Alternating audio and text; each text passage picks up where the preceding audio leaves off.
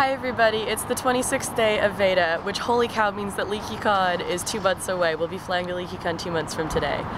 Um, I'm currently sitting outside a rest area along I-71, halfway between Cleveland and Columbus, uh, because my poor dad, who's not feeling very well, he has a cold, drove me all the way up to Kent State this morning for a visit, and now we're driving back, and he got really tired and wanted to stop and take a little nap, and I got hot in the car.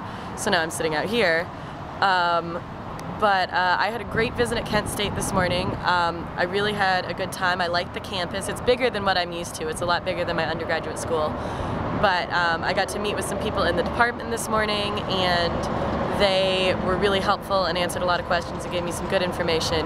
So um, that was really awesome and now I just have to think about what I want to do. I've seen all my schools and uh, I got to make some decisions now. Um, tonight I'm going to see my friend Maddie in Hello Dolly, which I'm really, really excited about. And um, then tomorrow I have an HP Ohio thing all day, which is really awesome because today, I'm pretty sure, I forgot to look, is Arbor Day, which is kind of a holiday within HP Ohio. Matt Maggiacomo of the Whomping Willows wrote us the song Arbor Day, and it kind of talks about how much, you know, we all need each other and we rely on each other. And my friends in HP Ohio are just the greatest and I'm so close to so many of them and they mean so much to me. So uh, happy Arbor Day everybody and that's pretty much all I'm, I have to say right now. I'll see you guys tomorrow. Bye.